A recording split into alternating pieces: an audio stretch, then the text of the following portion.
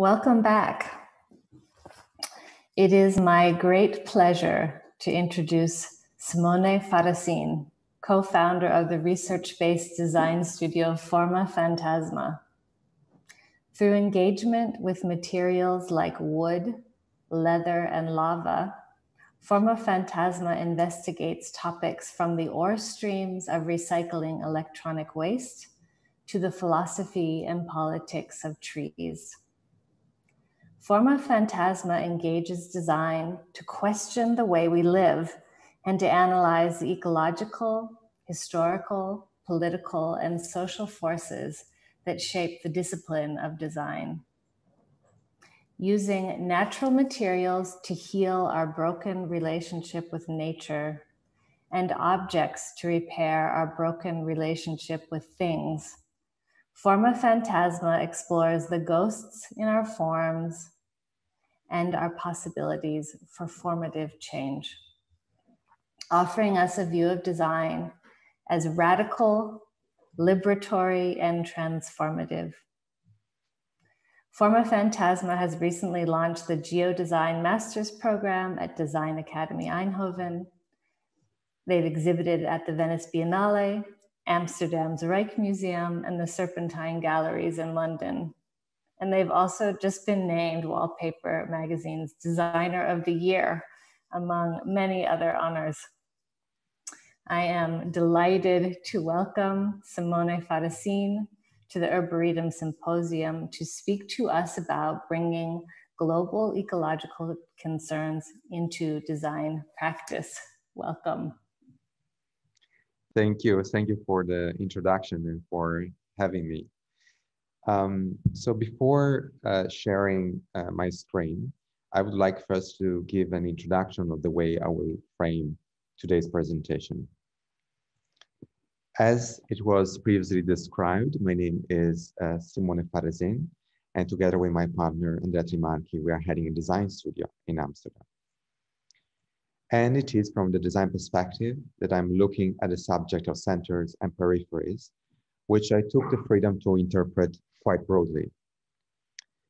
Um, today, I will mainly focus on a recent research that was formalized in its first installment as an exhibition at Serpentine Galleries in London that focused on the governance of the timber industry. The exhibition is called Cambio, and through the lens of timber extraction, looks into the infrastructure that design inevitably ends up supporting when delivering objects, buildings, and of course, even services. But before to go into that, I would like to spend two words on the design discipline and the struggle that design has in um, facing real ecological uh, development and thinking. In fact, while the act of design can be defined as the propensity of humans to conceive and construct desired changes in their environment, design as a discipline formed in conjunction with industrial revolution. And design has based its development on essentially one big narrative, the idea of human well-being and the concept of needs. In fact, when it's best, design has proved to be a valuable tool for the improvement of the life of citizens. While at its worst, product development has been undertaken based on a market conception of the needs of citizens, very often transformed in consumers, as endless as the energetic resources availability. In this sense, the anthropocentric dimension of design is not only intrinsic, but also historically conceived by the discipline of design itself.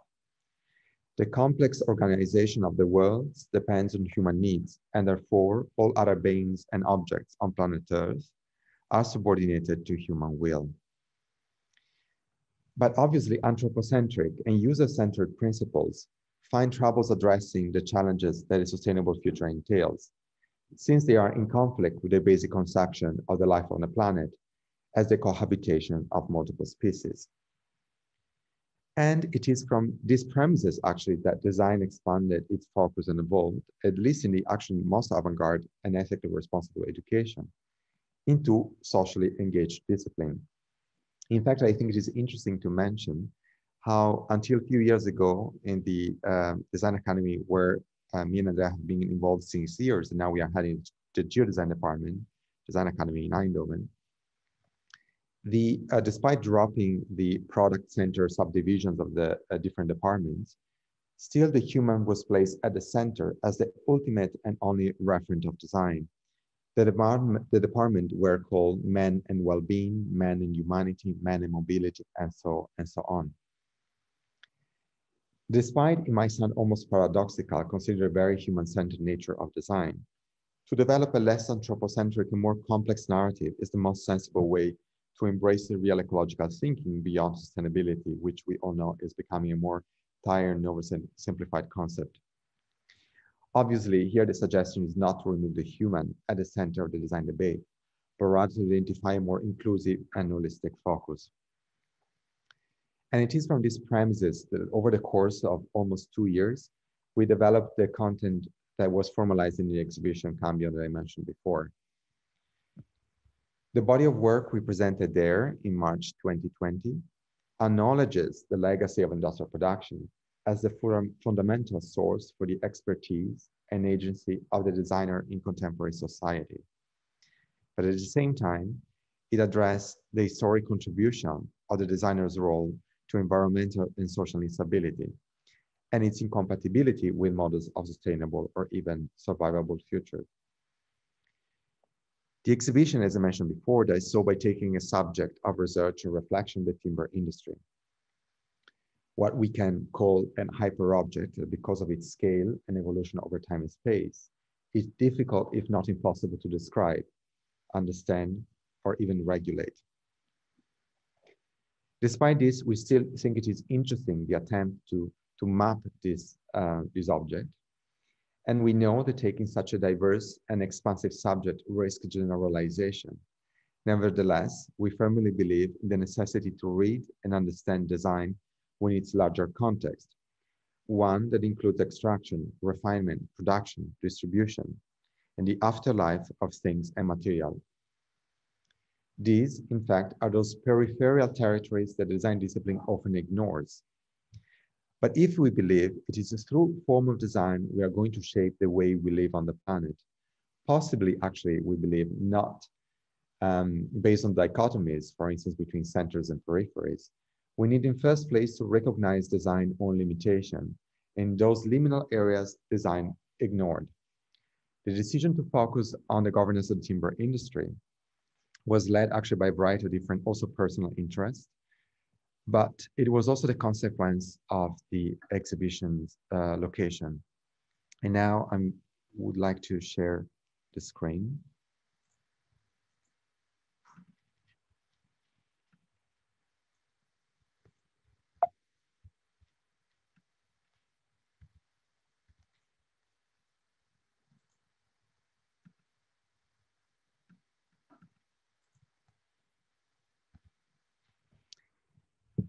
Hope you can all see my, my screen now.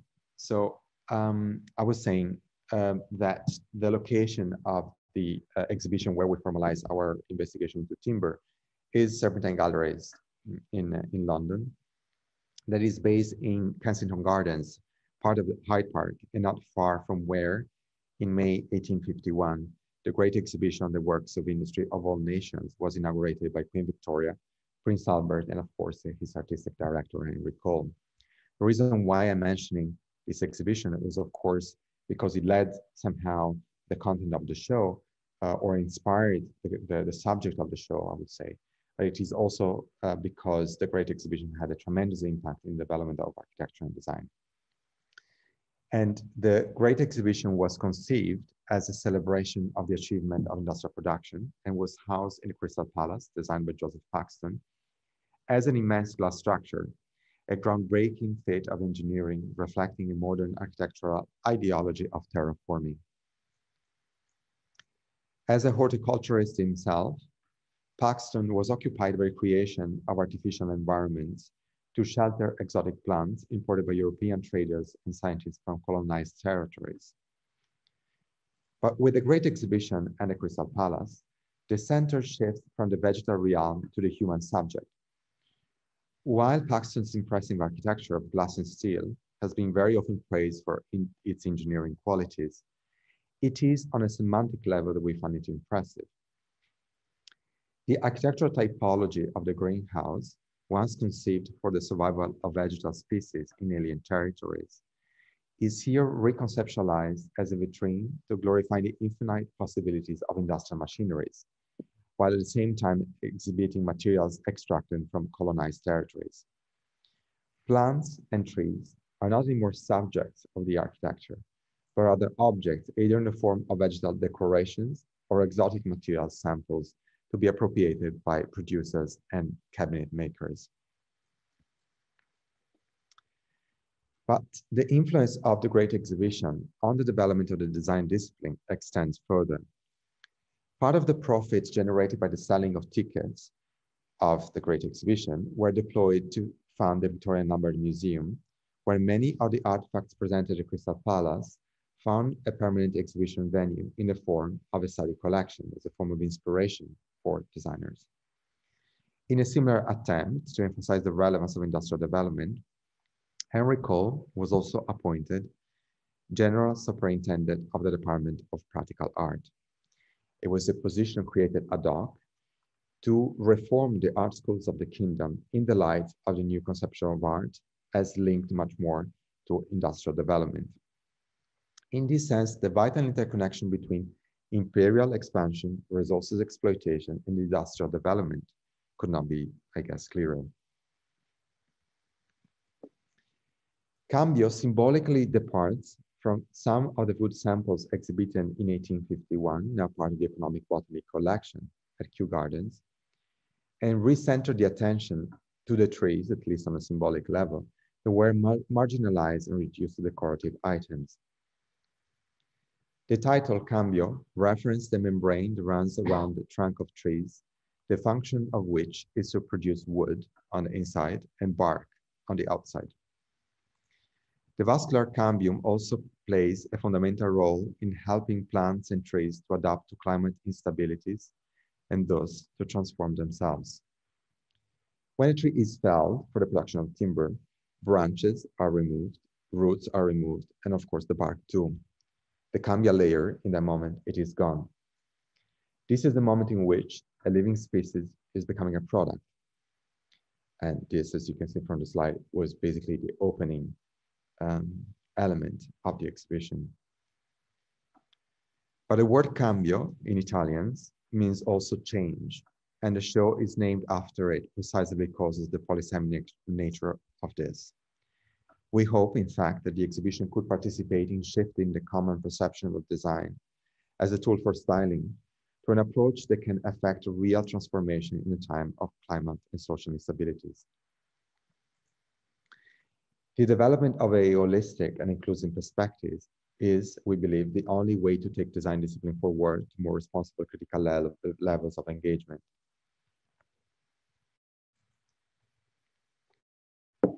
In Cambio, the inclusion of works and voices of practitioners never or rarely considered as part of the design conversation is a way to recognize design and production as part of a complex ecosystem, not separated from the natural ecosystem both of which can be transformed for the better only with the convergence of different knowledges and approaches. It is a method of simultaneously enriching design culture and making the discipline more inclusive of narratives that have been often overlooked. The exhibition, in fact, is a collaborative effort that includes the works of and contributions of experts from the field of science, conservation, engineering, policymaking, and philosophy. Together they move from microscopic analysis of wood and its ability to store carbon dioxide to a metaphysical understanding of trees as living organisms. I will now briefly show some of the interventions in the exhibition just to uh, give you an idea of the content of the of the of the show. Uh, I will not go uh, in, in depth in, into it. And of course, I would like also to remind you that the actually the investigation Cambio um, is continuing in other in other forms, and of course, it was finalized uh, in this way and with specific content that we know it could work in the format of uh, an exhibition. So the first section of the show presents forensic research undertaken in collaboration with a number of different scientific institutions into the data that can be found in wood, the analysis of these mundane objects, many of which are still produced from protected species, can help to regulate logging practices around the world and offer manufacturers, designers, and users better information about the impact of their material choices. Um, the, the installation was based on a collections of objects that we source in, within the European Union and through the help of the Thünen Institute in Hamburg, we uh, forensic analyze the materials in order to understand really the, the, specimens contained in, in it. But I will not, as I said, go in, in details into this because I prefer to focus on a related uh, installation. Um, and in this more precise example, uh, uh, it is a, a, work the future a, a section uh, in the installation. It's called On the Origin of the Species, and it's developing conversation the Thünen Institute. It is an attempt to map the species of wood using books printed globally. We source selection different copies of Darwin's On the Origin of the Species, printed in a number of different countries. Paper from each book was microscopically analyzed uh, by the Thünen Institute in the attempt to identify the relationship between the location of the printer and the origin of the species used in the paper. The results revealed there, there to be a little, if no relationships at all between the geographical side of the printer and the ecosystem that provided the wood for the paper they are using. Although most paper are made of a mixture of different palms, often from different places and species, the most common were pine and eucalyptus. Fast-growing wood species used for the production of pulp and paper can now be found widely distributed in the globe, regardless of where they grew originally. Given the rapidly rising demand for paper and other paper products, the increase of fast-growing plantation is likely to continue to replace endemic ecosystem. A good example in this, in this sense is a copy of uh, the book printed in Brazil on paper made uh, also entirely from eucalyptus. Its natural distribution covers Australia and Malaysia, but with countries like Brazil now exporting large amounts of pulp, this fast-growing tree has replaced species native from South America. Paper production is just one part of the timber industry where efficiency and product productivity is favored over diversity. The exhibition continues with a combination of images, text, films, and objects, exploring the contemporary use of colonial wood-based archives, such as the Economic Botany collection. In this sense, the, the samples that you see uh, in the images are the ones, a, a, part of the one that were exhibited in the uh, Great Exhibition of the 51. Today, the purely economic function of the archive has been superseded by new conservation-led principles. Samples from these woods are used to provide comparative data against which products like books previously described can be tested to prevent the consumption and distribution of logged wood. Of, of course, here it is somehow interesting to note how the countries that are in charge uh, of regulating, I would say, or analyzing uh, and understanding the trading of illegal timber are the same that, uh, and, and, the, and the only one that, um, of course, had a, a colonial past. I have to say that in this sense, European Union is in any case doing quite a decent job in um, not imposing regulation upon uh, exporting exporting countries. Nevertheless, there is still an obvious uh, power um, imbalance here.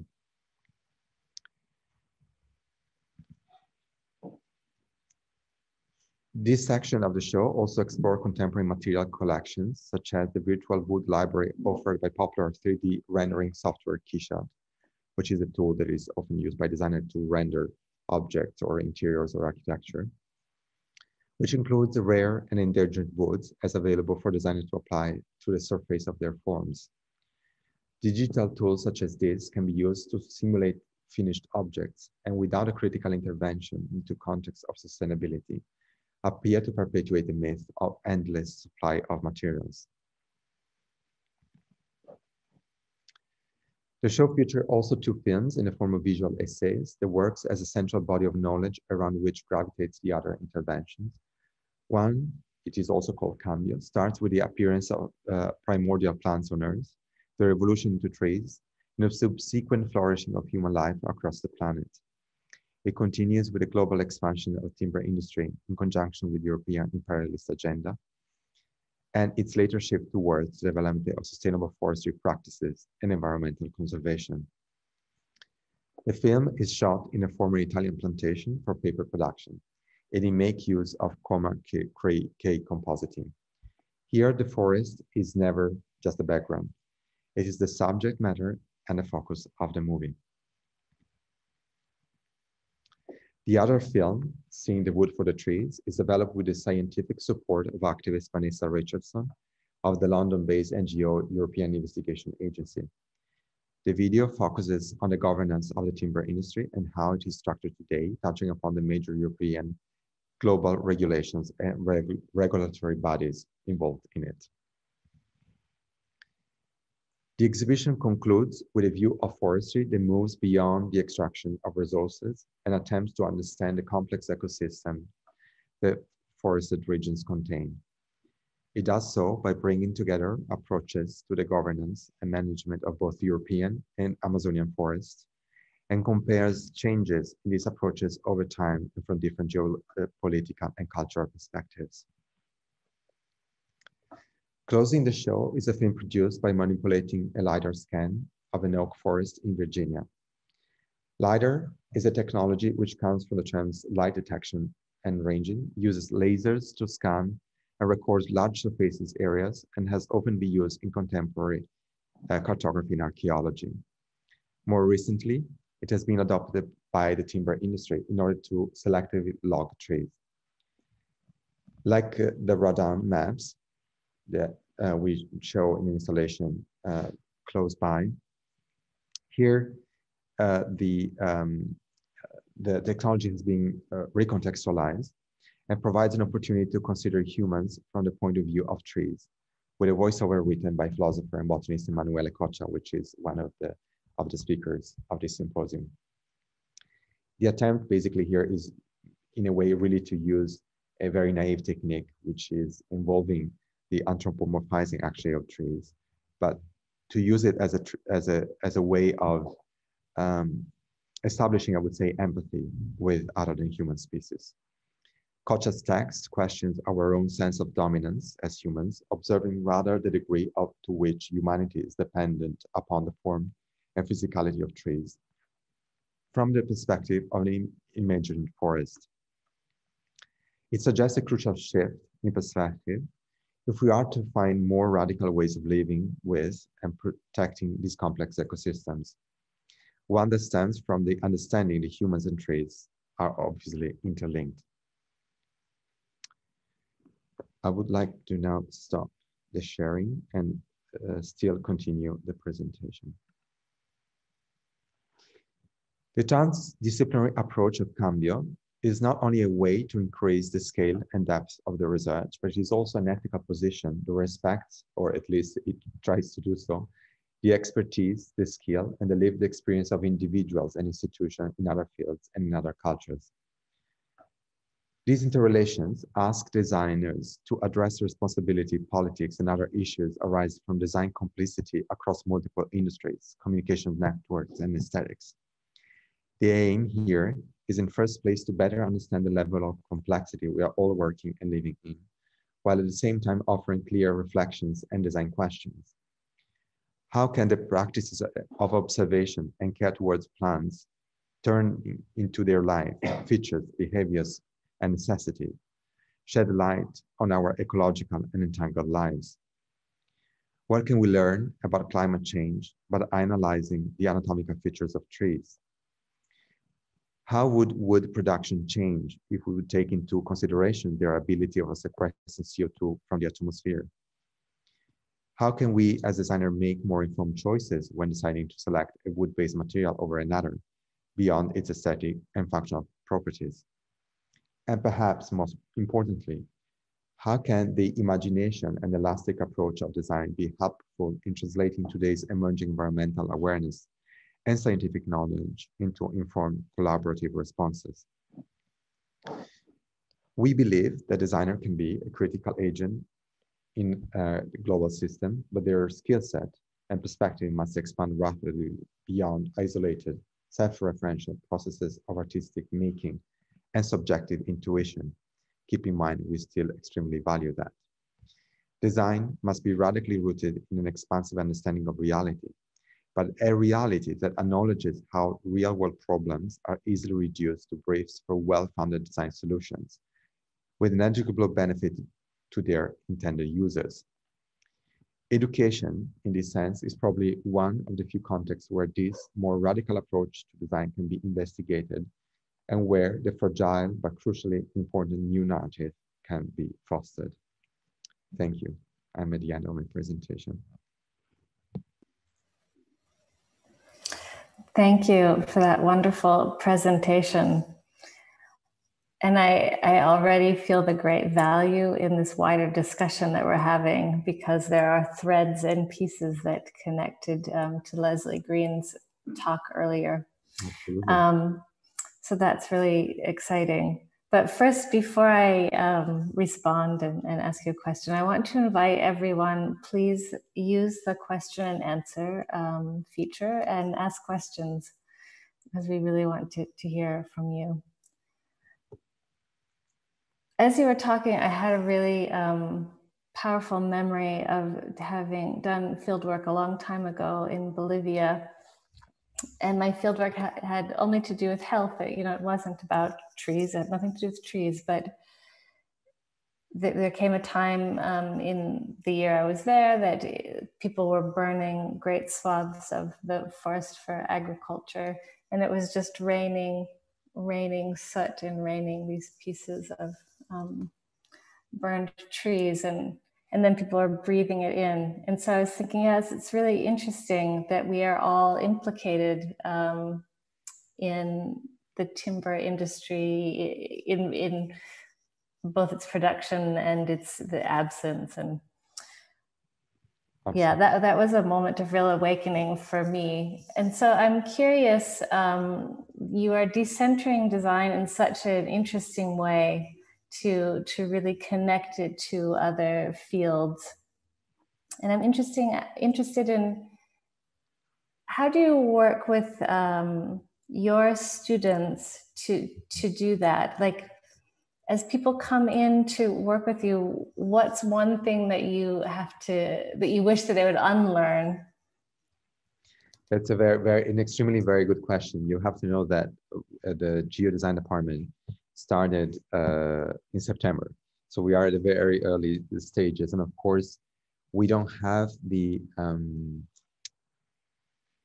we don't have the intent of structuring it as a necessarily as a sort of top-down system of education.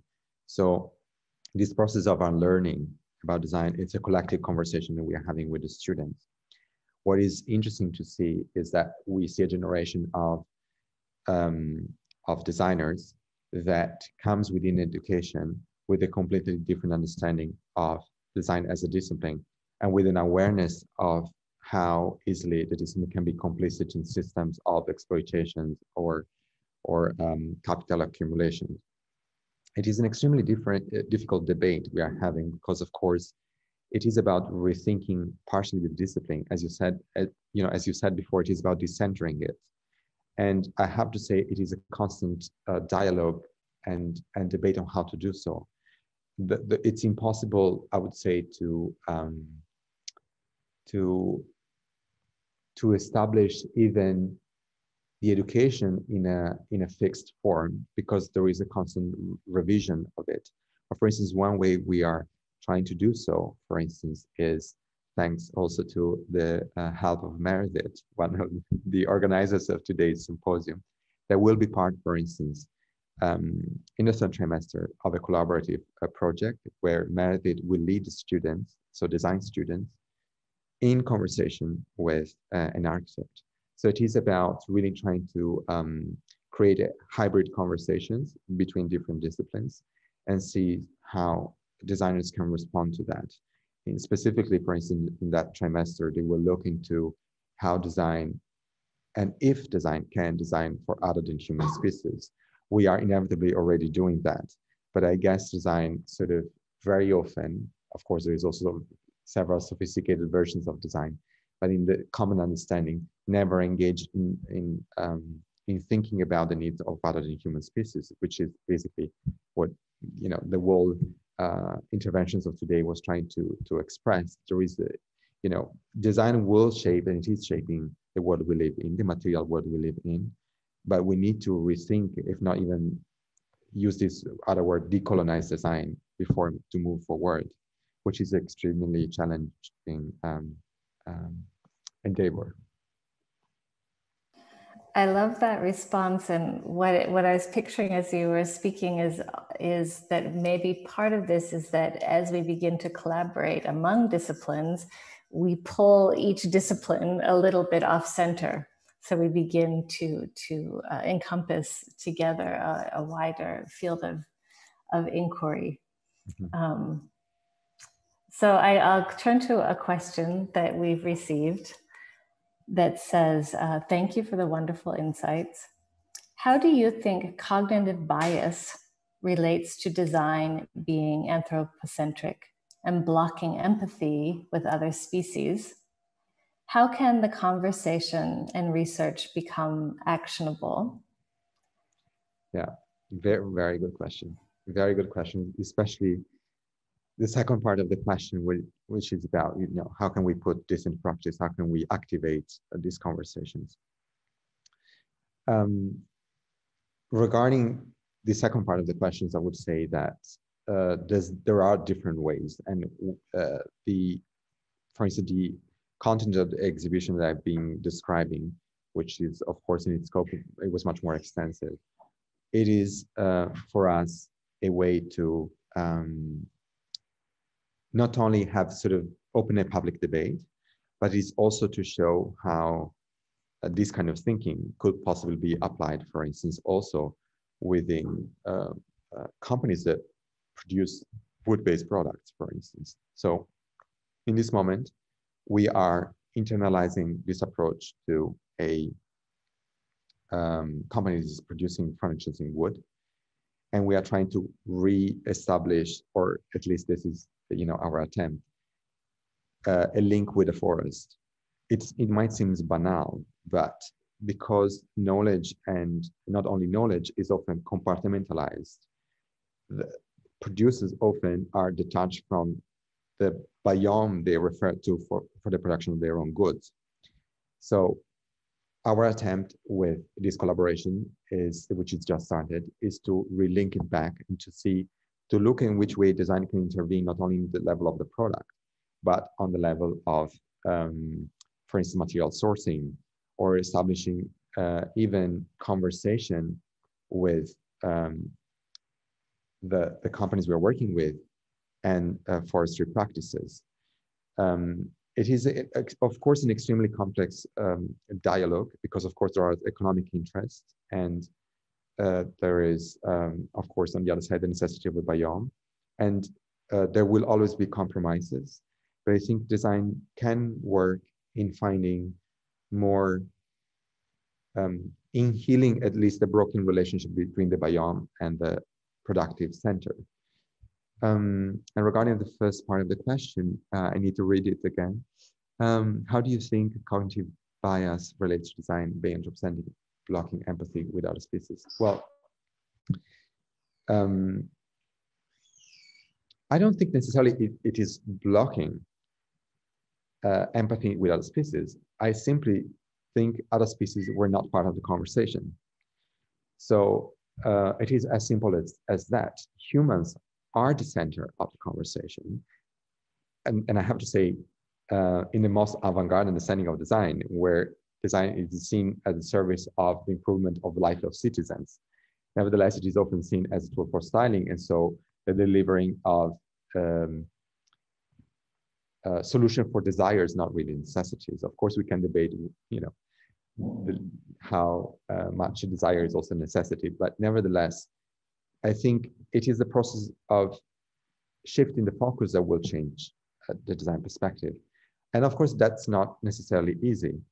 Um, and again, it is not about removing the human at the center, but sort of understanding how the human is related to other entangled um, other entanglements. Um, it is extremely challenging for what I said before because design sits in this complex spot that is in between the sources of production, the transformation of uh, materials into services, building, and objects, um, shaping and participating in shaping of culture. And of course, it is because of this reason that we think design is an extremely relevant uh, discipline that needs to understand these implications before moving forward, I would say. I really love this idea of design as being at this nexus, this crossroads of many things coming together, which makes it very complicated, but also potentially so powerful. So I'm sad to say we're out of time. This has been uh, just wonderful, and thank you so much. I can say I feel um, inspired and excited, and feel that this sense of um, of hope that we can redesign things. Yeah. So thank you. You're welcome. Thank you for having me.